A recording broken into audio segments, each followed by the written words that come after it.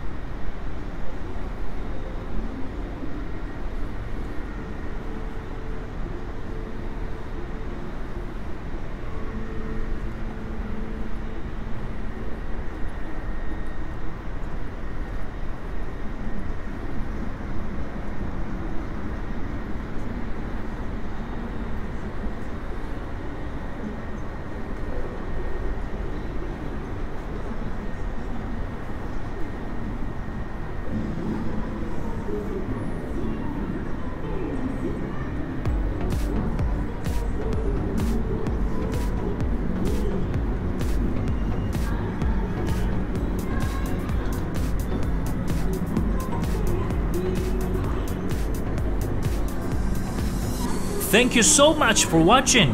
If you like this video, please give it a thumbs up and don't forget to subscribe. See you in the next one.